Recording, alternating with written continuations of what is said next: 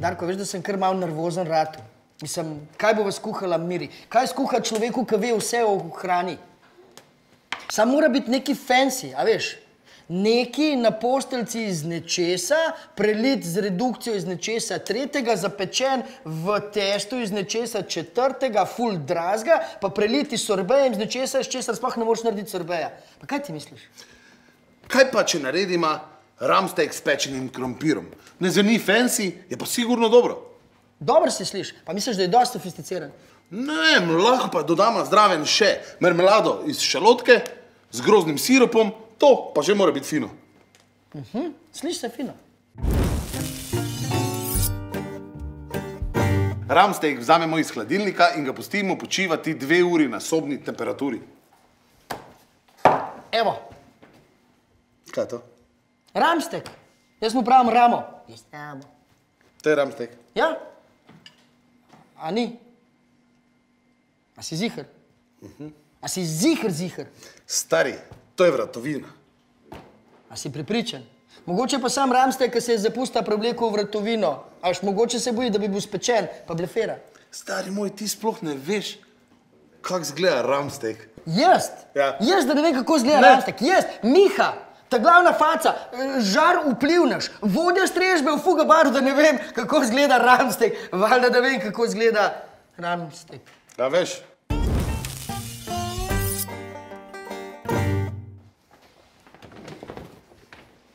No, Miha, iz katerega konca je ramsteak? Ha, Kaj da jaz ne vem, z katerega konca je ramstek, lepo te prosim.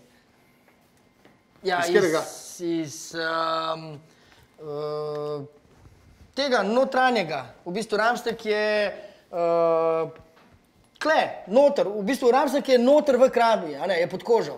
Aha, kje točno? Ja, to je pa odvisno od krave. Mislim, tukaj ni, a ne? Mhm. tukaj tudi ni, ali je. Mislim, zdaj se pa počutim spet, kot da sem 11 let star pri zemljepisu iščem Uzbekistan. Ti pomagam? Ja, prosim. Kuhari imamo eno pesmico, da si lažje zapomnimo, kje je kaki kos goveda. Okej. Se pravi, vrat bržola, hrbet, križ, stegno, bočnik, tu dobiš. Aha. Pleča, prsa, rebra, flam, Ja. kje je ramsteak, najdi sam. A da je nehi, no, lepo te prosim. Mihcu je v četrto ratalo najti pravi kos mesa. Torej, ramsteak pustimo, da počiva na sobni temperaturi, Miha pa bo pomagal pri zelo zapleteni nalogi, pečenem krompirju. Za začetek probaj spoznati, katero od teh dveh zelenjav je krompir. Pri zapleteni nalogi, ja, ni problema, valjda da vem, kje je krompir. Tale je, a ne? Se je. Bravo. Zdaj pa ga lahko greš umiti.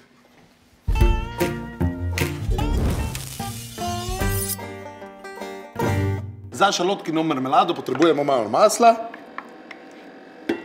seveda šalotko, sol, muškatni orešček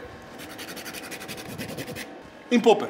E, Ker se že izobražujeva, če te lahko vprašam nekaj. Seveda. Kakšna je razlika med čebulo pa šalotko, razen tega, da je šalotka manjša? No, ni samo manjša, je tudi uh, manj naporna. To je isto kot ti. Ti si po velikosti šalotka, uh, po karakteru pa čebula. Se vem, da vsaka šola nekaj stane, sam tole pa tumač.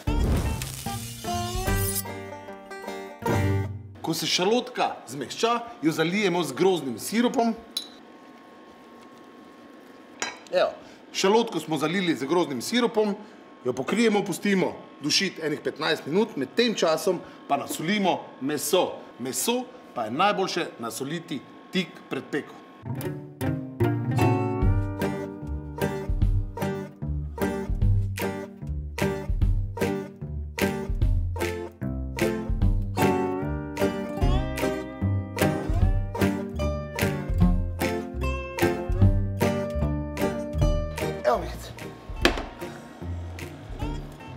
Zdaj pa dodamo maslo, damo cel česen,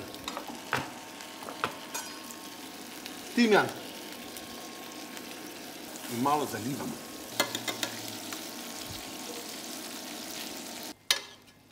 Timijan, česen, se prav, prav vohata. Voha se. To bo tak dober okus, a? Zdaj še samo malo popopramo. In to je to. Ne, Meso smo pekli na vsaki strani eno minuto in pol, ga dali v maslo, timjan, česen, na koncu popoprali in pustili 10 minut, da si spočije. Aha, in če ne veste, koliko je to 10 minut, da se spočije, to je približno toliko časa, koliko normalen človek rabi, da pride okrog Darkota.